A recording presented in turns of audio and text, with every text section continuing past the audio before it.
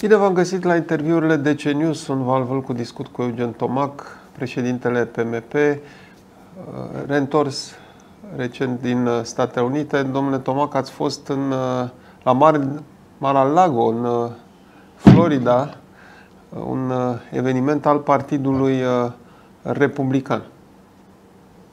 Bună ziua, da, tocmai am aterisat, să spun așa, din, din Statele Unite, unde a devenit uh, pentru mine o tradiție să fiu invitat la unul dintre cele mai importante evenimente organizate de republicanii din Statele Unite. Uh, am mai fost și anul trecut, am mai fost și acum uh, patru ani de zile când președinte în funcție era Donald Trump. Marlago este reședința oficială a președintelui Trump a fost reședință oficială și în perioada în care a fost la Casa Albă, este proprietatea domniei sale și de când este uh, implicat în activitatea politică, de când a fost ales președinte al Statelor Unite, dar și după, în uh, fiecare an, în luna martie, se organizează acest uh, dinner uh, cu prilejul Lincoln Day, și evident că sunt invitate foarte multe personalități politice și, în general, uh, membri ai Partidului Republican.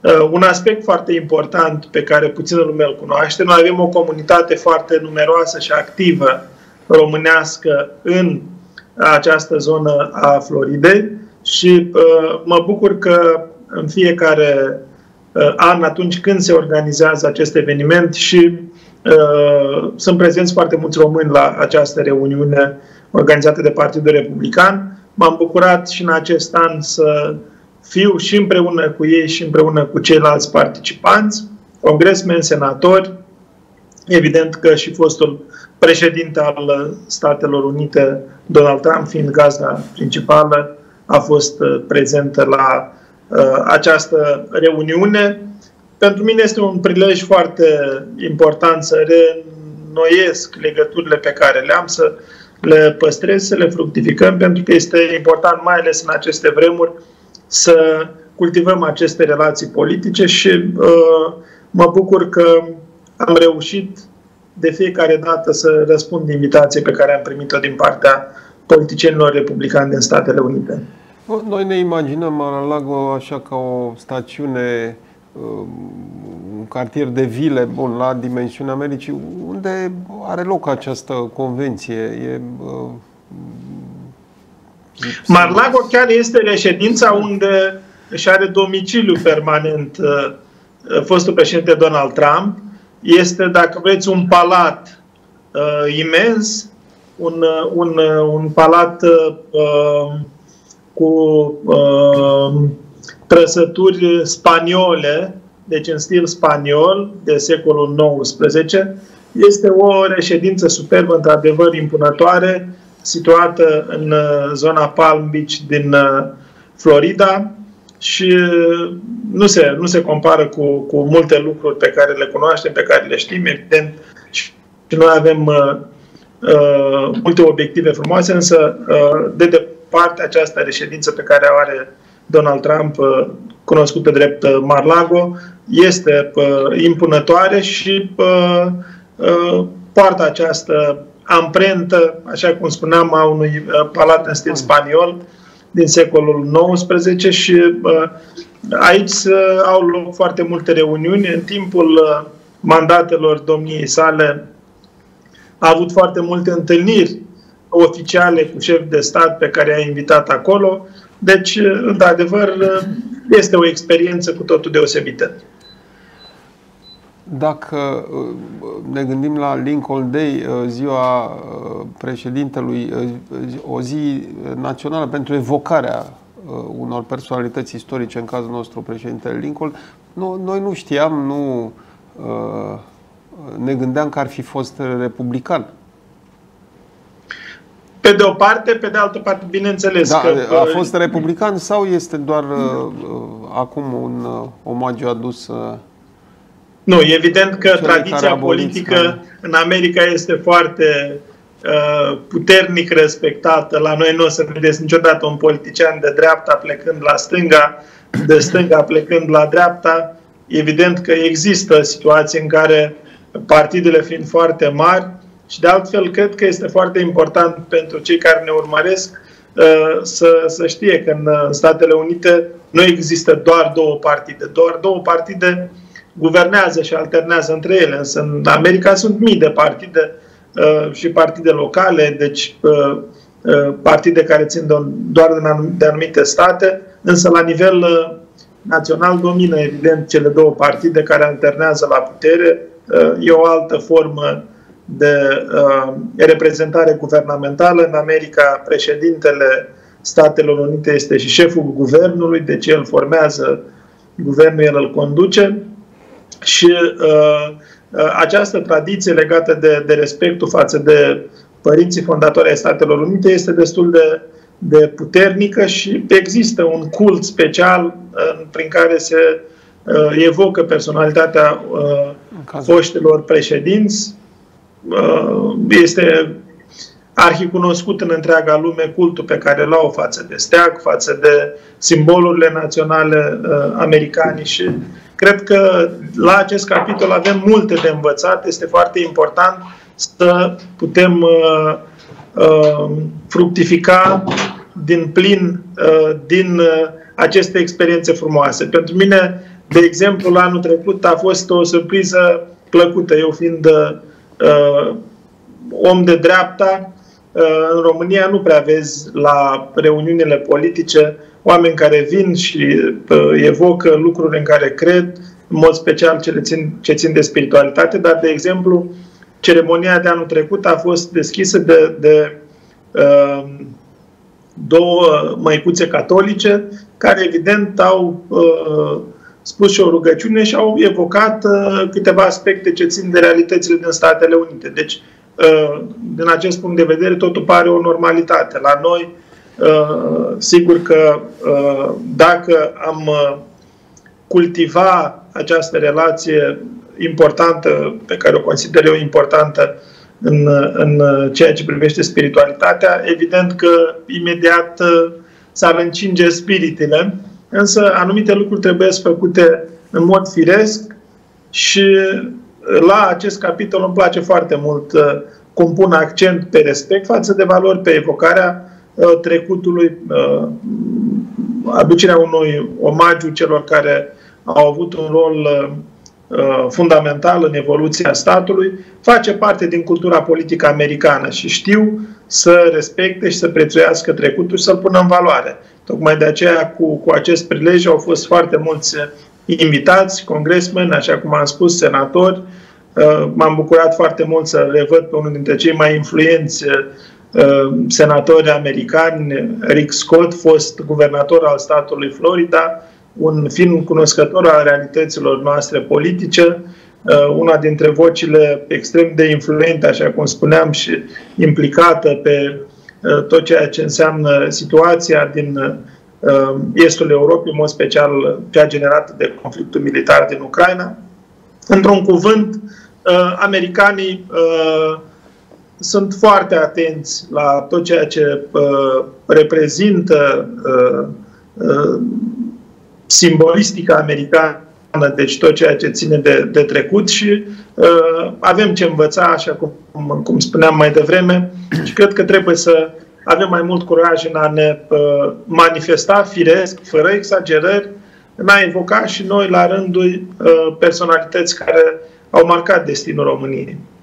Sigur că există mari diferențe și nici nu pot fi uh, uh, translatate, să spunem, ca la geometrie, nu, să nu greșesc că a, a fost de mult, uh, tare de mult uh, momentul în care am participat la ultima oră de geometrie, dar nu poți uh, face paralele, să spunem, între ce, ce este Statele Unite și la noi. De exemplu, la noi dreapta apără valori, dar dacă mă gândesc că în dreapta se plasează și USR-ul cu care Uh, tocmai ați semnat un acord, uh, ar fi uh, în opoziție cu ce reprezintă conservatorii republicanii din SUA. Nu, aici lucrurile trebuie să prezentate cât se poate de clar. Evident că noi suntem un partid de dreapta, creștin-democrat, uh, ne asumăm această doctrină, credem că este importantă dimensiunea spirituală, credem că este foarte important ca economie de piață să funcționeze și statul să se implice cât mai puțin. Uh, legat de uh, ceea ce a spus, nu am semnat nimic, doar am avut câteva discuții importante și eu cred că în România este nevoie de uh, o asumare și de o coagulare a partidelor care împărtășesc aceleași obiective pe dimensiuni concrete ce țin de politică, politica statului, de ce, ce țin de economia statului. Și eu cred că Uh, la ora actuală PSD și PNL care cred că pot împărți țara după bunul plac și evident să-și facă proiecții uh, pe termen nelimitat în ceea ce privește guvernarea, că observăm, uh, sunt extrem de preocupați de uh, uh, această asociere să dăinuie și după 2024, este strict problema lor. Eu însă uh, cred că uh, în România, așa cum există partide precum USR și nu numai, partide care au vocație de dreapta în sensul că se adresează publicului de dreapta, nu în sensul uh, ideologic, așa cum uh, l-ați definit dumneavoastră mai devreme, trebuie să stea la masă. Deocamdată, singurul lucru pe care pot să-l spun cu onestitate este că uh, ne-am așezat la masă și discutăm despre ce este de făcut pentru țară. Pentru că chestiunile ce țin de transparență, de implicare, de asumare. Nu vedeți câte crize există la nivel guvernamental și uh, în țară s-a așezat un gol și o lipsă de comunicare totală. Chestiuni ce țin de sănătate. Ele nu au culoare politică, ele au doar angajamente politice ce țin de îndeplinirea unor ținte. Și eu cred că la ora actuală opoziția, așa cum este ea firavă, trebuie să caute soluții pentru a uh, oferi țării o alternativă.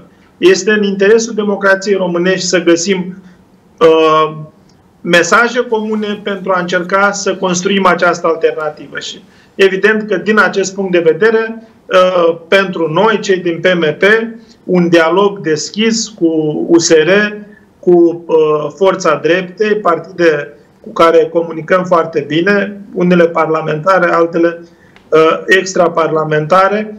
Uh, cred că este o necesitate în momentul de față și vă spun cu toată uh, bucuria. Chiar există și partide regionale care și-au exprimat dorința de a fuziona cu Partidul Mișcarea Populară.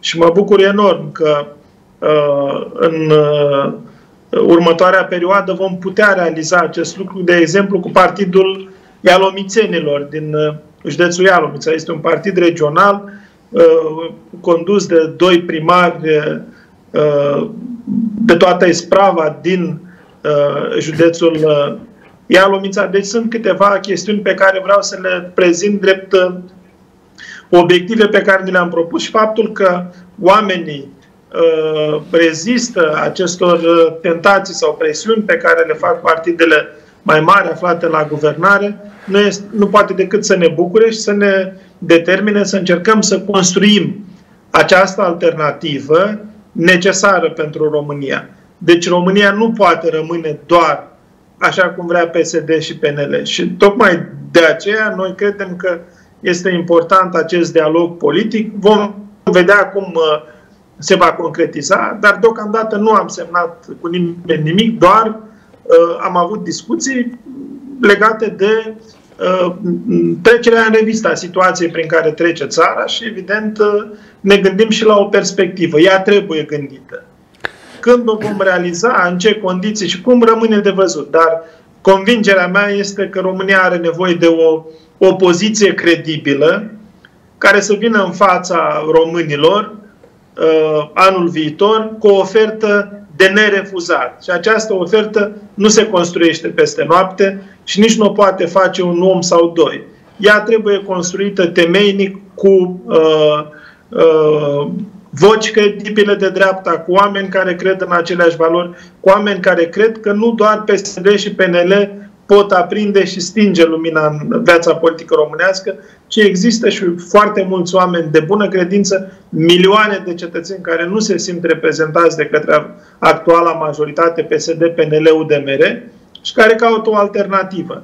Eu, ca un politic, am obligația să mă gândesc la soluțiile pe care le poate pune uh, pe uh, uh, piața politică Uh, partidul din care uh, fac parte, pe care îl conduc și, evident, uh, să ne gândim la o asemenea construcție. Deocamdată, atât pot să vă spun cu, cu maximă onestitate și cred că dacă oamenii care cred în transparență, în bună credință, într-o guvernare eficientă, în politici de dreapta care să aducă prosperitate, bani mai mulți la buget, Bani mai mulți la buget pot fi atunci doar dacă există creștere economică.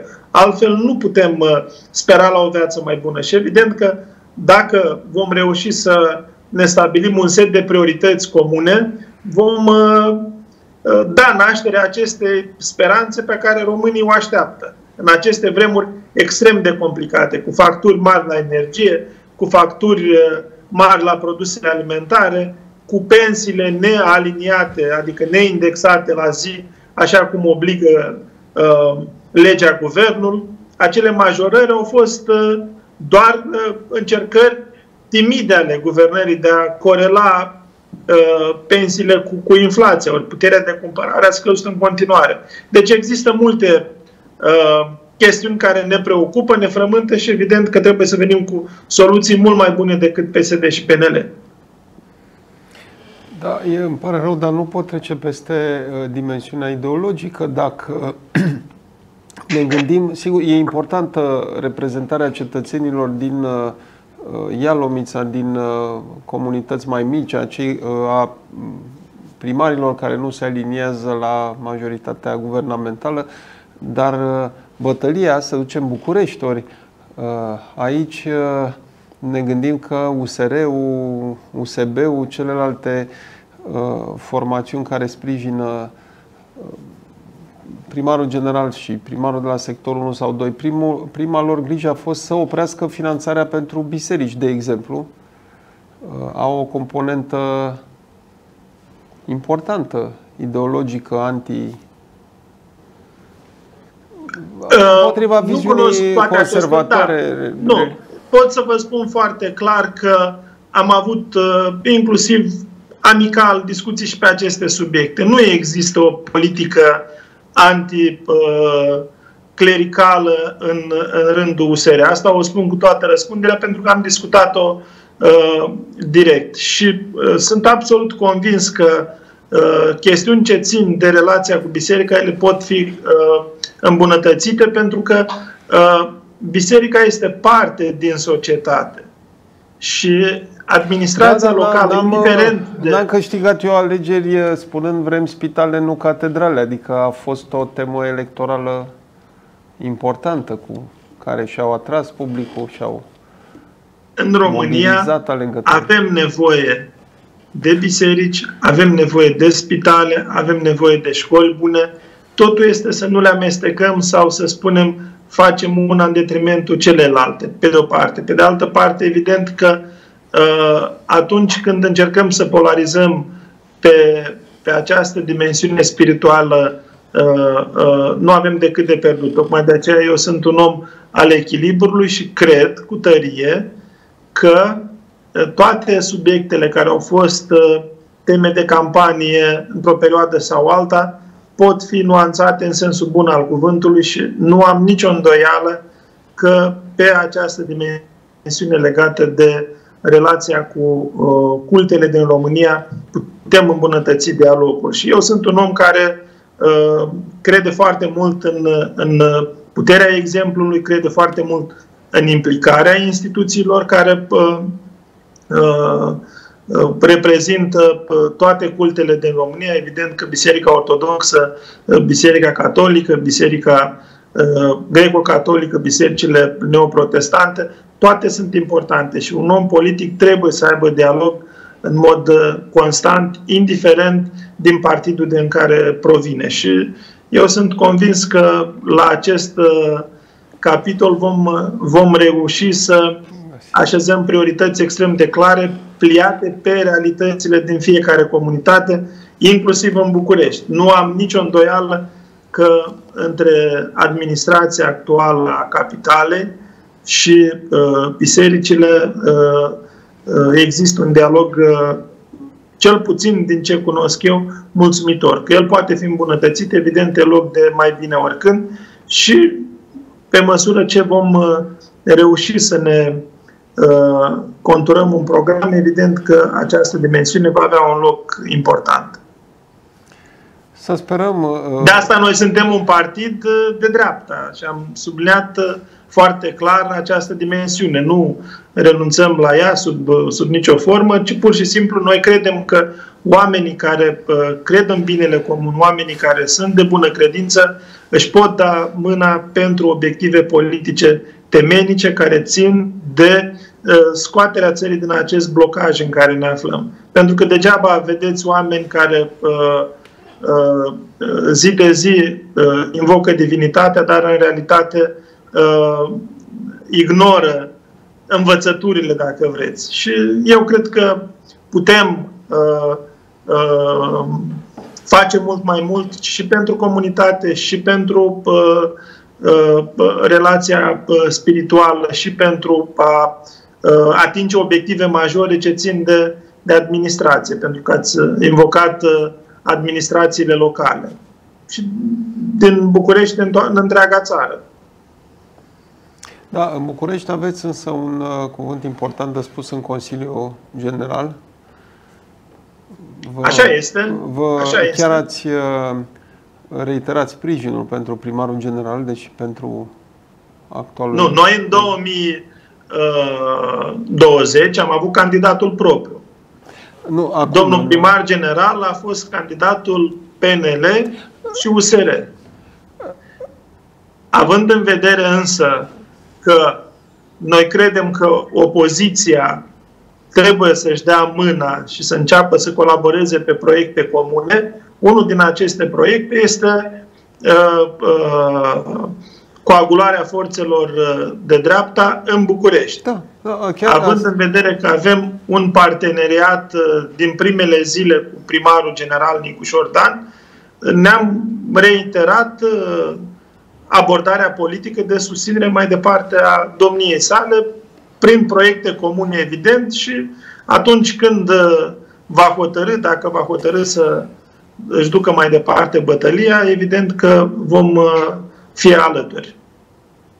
Da, da, la asta mă referem și eu. În uh, ultima săptămână ați reafirmat, ați uh, reiterat această poziție. Poate îi spuneți domnului uh, Nicu Șordan pe dimensiunea spirituală că nu are directori de teatru de 2 ani în București. Direcția Cultură, sigur, e la PNL, dar cred că poate să o uh, determine pe uh, doamna profesor, inspector, care e acolo, că nu e om de cultură uh, în sensul clasic al uh, cuvântului, să organizeze concursuri, nu mai zic să financeze teatrele, deja merg prea departe, dar măcar uh, să rezolve această situație de interimat pe care a declanșat-o.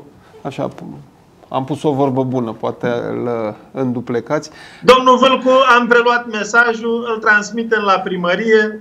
Tot ce cred că poate fi îmbunătățit, va fi îmbunătățit. Rolul nostru este să venim către oameni, să preluăm problemele și, evident, să căutăm soluții. Ia, acolo și unde ceea există... ce depinde de noi vom face cu maximă bună credință. Eu am explicat rațiunea pentru care PMP okay. consideră că Okay. este necesară coagularea forțelor de dreapta, că suntem deschiși și extrem de transparenți pe această dimensiune și vom continua să Nu, da, N-am uh, lucrăm. dis- discutat de primăria, am atins doar această zonă spirituală pentru că am uh, vorbit de culte și uh, așa am în, întreagă, plus că dacă vorbim de transparență, de respectarea deciziilor judecătorești, este chiar o decizie uh, definitivă uh, de repunere în funcția unuia dintre directorii de teatru pe care o ignoră Nu primăria. cunosc subiectele, Tocmai, nu mă haideți bag. să nu ne băgăm. Tot ce pot să Uh, spun este revine că la noi, am Nica. uh, reținut mesajul și evident că uh, îl voi transmite mai departe, La- pentru că uh, orice semnal trebuie tratat cu multă seriozitate.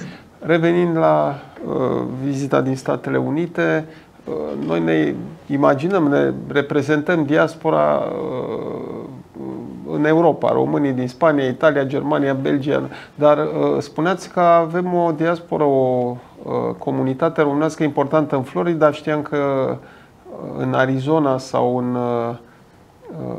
în acel stat avem chiar un membru al Congresului, un cetățean. O, o, da, da, există foarte mulți români oh. implicați. De altfel, nu știu dacă uh, cunoașteți, în, în Statele Unite, comunitatea românească este de peste un milion de, de cetățeni americani, vorbitori de limba română. Deci avem o comunitate numeroasă. Deci ca în Spania, ca în Italia. Da, dar aici avem totuși uh, următoarea situație. Comunitatea din Statele Unite este foarte veche. În general, în mare parte, este formată din familii plecate înainte de 1989 din rațiuni politice însă sunt uh, uh, organizați în comunități extrem de uh, disciplinate și respectuoase cu tot ceea ce ține de tradiție și de valori. În Statele Unite nu veți vedea biserici, școli sau uh, uh, asociații culturale finanțate de stat. Acolo totul este privat uh, și evident că toată această organizare uh, pe bază asociativă a bisericilor a asociațiilor culturale, a școlilor cu, cu predare, inclusiv și în limba română, puține cei drept, inclusiv muzee, există, toate sunt instituții private și evident că sunt susținute de către membrii comunității românești. Este impresionant să mergi, să mergi de la Portland la Chicago, de la Chicago la New York, de la New York la Atlanta, și peste tot ne mai vorbim de Los Angeles, uh, să întâlnești comunități mari de români. Că vorbeam mai devreme de biserică, într-adevăr, rolul bisericii este foarte important în diasporă, inclusiv în, în Statele Unite, pentru că acolo se adună românii duminica la uh, biserică și uh, socializează în limba română, se roagă în limba română, discută despre țară. Deci aceste lucruri le, le regăsim foarte ușor în aceste medii. Există și presă de limba română uh, de foarte bună calitate, unde uh, uh, românii își spun opiniile în limba română, se citesc între ei, au puncte de vedere, inclusiv anunțuri și tot felul de lucruri pe care le le putem descoperi. Comunitatea din Statele Unite este una extrem de vie și de implicată. Din păcate, nu are România o strategie foarte bine pusă la punct, inteligentă și atractivă, prin care să îi implice în, în, în țară pe cei care au potențial. Pentru că, dincolo de oamenii care au plecat din rațiuni politice înainte de 89 sau din rațiuni economice în ultimii ani, există și oameni cu foarte multă influență, cu foarte multe resurse, care ar fi de un real folos pentru țară, care s-ar implica în mod sigur, care ar veni și ar investi în România, care ar crea locuri de muncă în România. Și pentru asta este nevoie de uh, o strategie mult mai atractivă, mult mai convingătoare și extrem de serioasă, pentru că românii de acolo s-au obișnuit cu un anumit standard în ceea ce privește activitățile uh, uh, economice, activitățile uh, administrative, vor ca lucrurile agreate să fie respectate și, evident, uh, tot într-o manieră extrem de predictibilă și transparentă. Cred că uh, comunitatea noastră din Statele Unite reprezintă un, un, o resursă, un izvor extrem de important pe care nu l-am fructificat nici măcar 5% din capacitatea pe care o are. Există foarte mulți oameni și în administrația centrală și în administrația locală. Vă dau doar două exemple. Am fost atât de surprins, plăcut să văd că în, în, în cercul apropiat președintelui Trump am întâlnit doi români. O româncă din Craiova și un român din Cluj. Nu o să le dau numele că nu am uh, acceptul domniilor lor, dar m-am bucurat foarte mult că uh, inclusiv acolo sunt oameni care o odată uh, ce m-au recunoscut, am intrat în dialog și am rămas într-o relație extrem de, de, de apropiată. De altfel, și în, în Partidul Republican există uh, și organizații uh, republicane pe, pe, pe națiuni și există și un Romanian uh, uh, GOP, așa cum, cum îl denumesc ei. Deci și românii din, din Statele Unite se organizează inclusiv pe criterii de simpatii politice și i-am întâlnit acolo și a fost într-adevăr după discuții pe care le ai cu, cu acești oameni implicați acolo, îți dai seama ce potențial uriaș avem în a fructifica această uh, dimensiune, această relație pe care, din păcate, nu, nu o folosim cum trebuie, în interesul României, evident, și, uh, și în interesul uh, lor, pentru că mulți dintre ei și-ar dori să se implice mai mult în diferite acțiuni în țară, dar reticența aceasta și lipsa de predictibilitate îi face pe mulți să ezite să, să revină acasă. Dar eu cred că oricând am organiza un forum cu cu oameni de afaceri din, din Statele Unite, din Europa, evident, uh, uh, ne-am dat seama de uh, o resursă uriașă pe care o are statul român și pe care, din păcate, nu o fructifică aproape deloc. Da, ni s-a atras atenția, am observat în numeroase, cu numeroase ocazii mobilizarea polonezilor sau a ungurilor din, a maghiarilor din Statele unită a cetățenilor uh, americani de origine maghiară sau poloneză, uh, nu, nu-mi dau seama, îi uh, mobilizează statele, există o. Știu că e, e un act, o, o lege care încearcă acum să fie preluată și de europeni, o lege din 1938 în care interesele străine pe zona de lobby, advocacy, uh, publicitate trebuie să fie raportate și uh, nu-mi dau seama... Tot asta se practică de mult în Statele Unite. Nu poți activa fără să-ți declari intenția, intenția și modul da. pentru care... Nu, dar în uh, ceea ce privește lobby-ul uh, maghiar sau polonez, uh, e un efort al statelor uh, respective sau comunitatea uh, maghiară poloneză se mobilizează în jurul intereselor naționale, nu știu, vize, uh, cum era atunci admiterea în NATO sau în alte structuri? E foarte bine că ați ridicat această întrebare. Într-adevăr, există națiuni, ne place sau nu, inclusiv cele pe care le-ați menționat, fie când ne referim la maghiari, fie când ne referim la polonezi, fie când ne referim la nemți, fie când ne referim la spanioli, nu mai vorbesc de italieni, pentru că sunt cartiere unde inclusiv uh, zici că uh, aveam noi un primar la uh, Cluj, parcă vopsea și stâlpii în culorile tricolor. Am văzut asemenea cartiere în, în, în Statele Unite, unde erau marcați inclusiv stâlpii sau scaunele cu culorile uh, Italiei.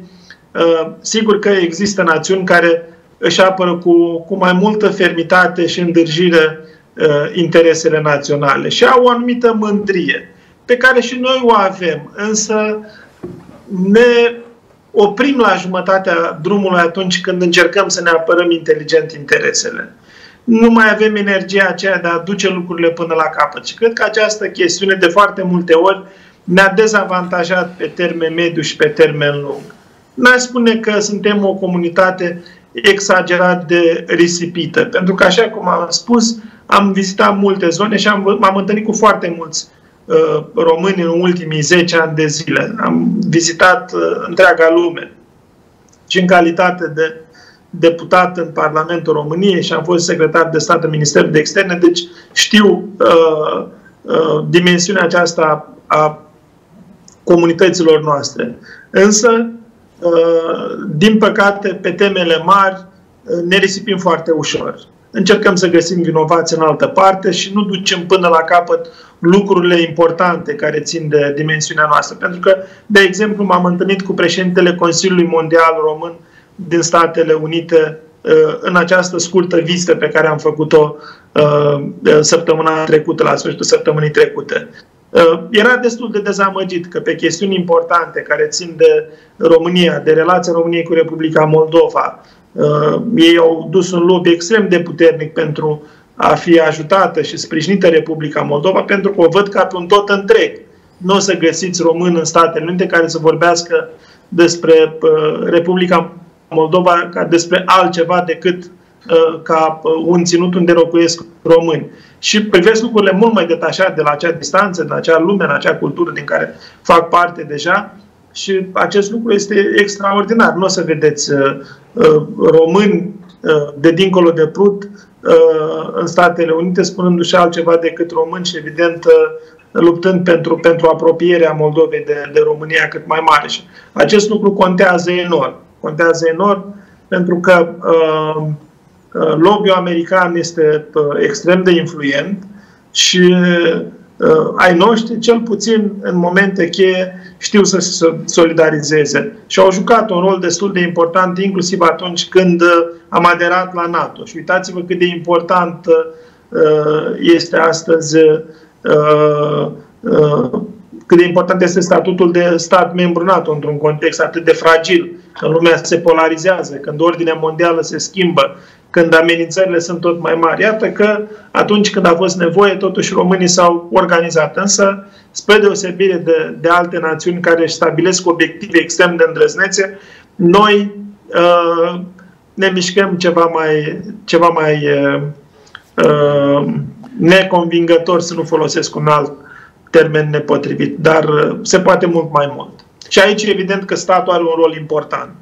Mă refer la statul român trebuie să vină cu o strategie prin care să-i convingă pe românii din America să investească în România, să se implice și evident să ne susțină inclusiv în acest proces ce ține de, uh, de eliminarea vizelor. Da, că ne referim la NATO, la situația uh, din Ucraina, din Europa, republicanii uh, par a fi reticenți, se orientează mai degrabă spre piața internă uh, politică. Au, uh, chiar Trump a spus că va opri uh, ajutorul pentru Ucraina. Lucrul ăsta ne pune pe noi puțin pe gânduri, ne stârnește temeri. Bun, aici sunt două aspecte pe care vreau să le subliniez foarte clar. Una este dimensiunea politică și abordarea pe care o au intern. Însă să nu uităm că uh, prezența trupelor militare, suplimentarea trupelor militare americane în România s-a realizat pe timpul președintelui Trump. Deci e o realitate. Să nu uităm că cel mai important summit NATO din istoria lui a fost organizat la București în timpul altui președinte republican, George W. Bush. Deci există lucruri concrete pe care le putem spune. Să nu uităm că Trump le-a reproșat europenilor că nu alocă 2% uh, din uh, PIB pentru uh, înarmare, fiind una dintre obligațiile asumate pentru tratatul NATO. Sigur că toate aceste nuanțe nu pot fi trecute cu vederea, inclusiv remarcile cu privire la război, inclusiv Uh, abordare extrem de radicală prin care insistă și spune că este nevoie de negocieri de pace și uh, de încetarea focului, sunt lucruri care fac parte din discursul politic uh, actual. Însă asta nu înseamnă că schimbarea culorii, culorii politice la uh, Washington ar însemna în mod automat și uh, încetarea sprijinului sau uh, că Statele Unite nu și-ar asuma angajamentele pe care le-au prin tratat. Uh, am dat doar câteva exemple concrete legate de uh, seriozitatea cu care tratează administrația americană, indiferent de culoarea ei politică. Sigur că sunt chestiuni care țin de nuanțe. Da, în uh, timpul președintelui Obama s-a instalat scutul antirachetă în România. Deci sunt niște realități pe care trebuie să le privim așa cum sunt. Era anunțat în timpul acestui eveniment din Florida era anunțată vizita lui Xi Jinping la Moscova. Uh, din uh, câte mi-aduc aminte, în campania electorală, uh, Trump nu știu, folosea cuvântul China de 94 de ori într-o, într-un speech. Era, acum dacă a devenit Rusia un fel de satelit al Chinei, până la urmă putem să avem încredere că și republicanii vor ține aceeași direcție. O, da. Aici lucrurile trebuie privite foarte realist. Evident că nimeni nu este bucuros de această apropiere pe care o manifestă China și Rusia la ora actuală. Sunt două superputeri, sunt două state puternice care au resurse uriașe, deci nu poate nimeni neglija, însă trebuie să privim și cu o ușoară detașare toată această apropiere. Evident că China profită din plin de situația cu care se confruntă Rusia. Să nu uităm că nu întotdeauna relațiile între Moscova și Beijing au fost strălucite în ultimii 100 de ani, chiar dacă la despărțire Uh, președintele Xi a ținut să menționeze că își propun să abordeze lucrurile complet diferit față de cum s-au desfășurat ele în ultimii 100 de ani. A fost un mesaj clar către lumea vestică, către Occident, către Statele Unite, însă nu aș intra într-o îngrijorare mai mult decât este cazul, pentru că, evident, China profită din plin acum de această conjunctură. Va lua materie primă multă, ieftină, dintr-o Rusie care este izolată și este disperată cu orice preț să nu rămână în această stare, în condițiile în care sancțiunile produc efecte, în condițiile în care Putin nu și-a atins obiectivele pe care și le-a propus legate de Ucraina, de anexarea acestui stat și evident că sunt uh, aspecte care ne arată clar că China își dorește să fie un uh, mediator în acest uh, conflict declanșat și de altfel a și propus în urmă câteva săptămâni un plan de pace. Un plan de pace care, uh, pe bună dreptate, este privit cu scepticism și o ușoară uh, reținere ironică din partea multor cancelarii, dintr-un motiv foarte simplu.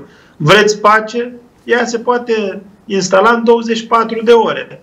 Putin să ordone încetarea focului și apoi pot începe discuțiile, pot începe negocierile. Ori la ora actuală vedem un singur lucru, că Putin nu dorește să se oprească, că uh, uh, vărsări de sânge au loc în fiecare zi, sunt atacați în fiecare zi civil, mor mii de oameni și din acest punct de vedere, sigur că această apropiere uh, între China și Rusia trezește îngrijorări, îngrijorări justificate. Dar nu trebuie să o privim ca pe o apocalipsă sau pe o chestiune care este uh, atât de, de periculoasă. Pentru că China a mai încercat și a avut relații apropiate, după care tot ea le-a și răcit cu, cu Moscova, în funcție de context. Acum însă este un context în care e evident că uh, uh,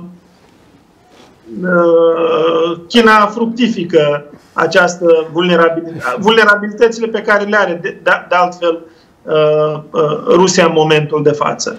Da, ne, ne interesează sau sunt uh, uh, interesat de poziția Statelor Unite de păstrarea aceleiași direcții pentru că uh, ne aflăm la frontiera Uniunii Europene, uh, suntem uh, expuși, iată, sunt două state ostile, uh, mă rog, România, Austria și Ungaria, extrem de favorabile Rusiei uh, și Uniunea Europeană, așa cum s-a văzut până acum, așteptăm uh, uh, procesul pe care l-ați, finalizarea procesului de la Curtea Europeană de Justiție, Uniunea Europeană s-a dovedit incapabilă să gestioneze această situație cu Austria și Ungaria făcând un joc dublu în, într-un astfel de moment tensionat. Bine, făceau și înainte, da?